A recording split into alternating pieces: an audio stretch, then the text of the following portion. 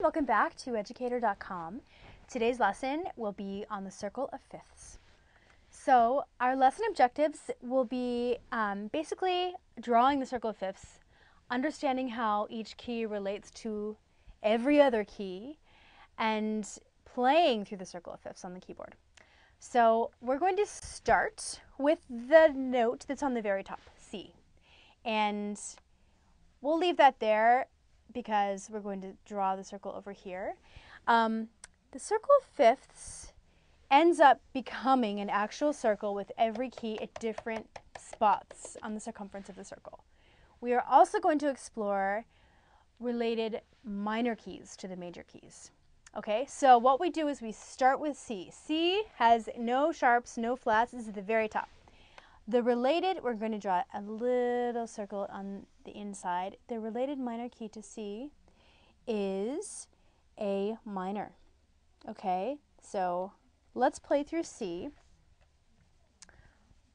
on our keyboard. Okay.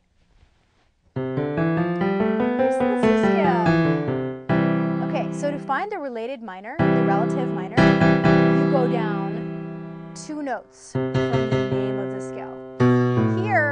it's easy because it's all white keys, C, B, A. But when we get into black keys and lots of complicated key signatures, um, you need to count half steps.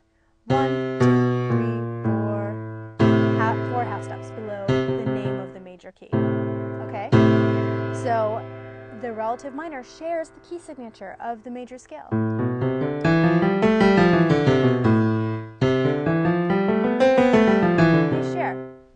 Key signature, which in this case is nothing. Okay, moving on to the next key in our circle of fifths. So we'll start with the C. We're going to be drawing this a lot. G. So C and E, G, excuse me, C and A, G and E. Why is it G and E? Let's find our keyboard. Here's G. Let's count down four half steps from G. One, two, three,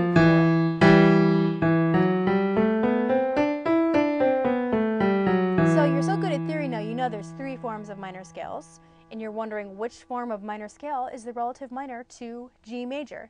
We always use the natural minor form in this case. Thinking of melodic and harmonic, which have changing notes, is a little too much, so we'll just use our natural minor to think about this, relative minor to the majors. So, G, the key of G, has one sharp. So we have the relative minor, and let's write one sharp over here. So let's get into why it's called the circle of fifths. G is the fifth note of the key of C. That's it. So let's go back and figure out how that works. Here's the key of C, right? Okay, G. G is the next key. Let's take that little clue and apply it to G. What's the fifth note of the key of G? One, two, our next key we're going to be exploring. So let's move on to D. Now we're on D. We have C, we have G. We're going to be drawing these every single time we get to a new slide. So it's going to be lots of fun.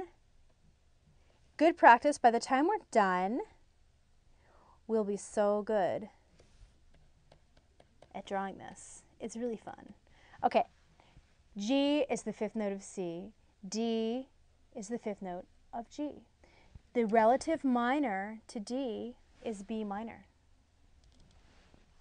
So here's D. We have two sharps in D. Let's count down four half steps from D. Okay, let's play B minor using our two sharps.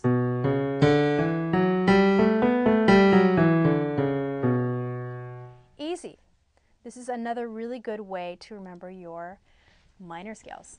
So next, let's count on our fingers. The key of D, D, E, F, G, A. A is the fifth note of D. A will be our next key. Here it is. So beginning at the top, we have C, G, D, A. One sharp, D has two sharps, A has three sharps. Okay, minor is A, relative minor is E, relative minor is B. Let's look at the keyboard. Okay. The relative minor to A is F sharp minor. Let's go to A. As you remember, the order of sharps, the first sharp is always F sharp, the second sharp is always C sharp, F sharp, C sharp. The third sharp is always G sharp. So we have three sharps. Remembering that, let's go to our relative minor, F sharp, and we'll play those three sharps.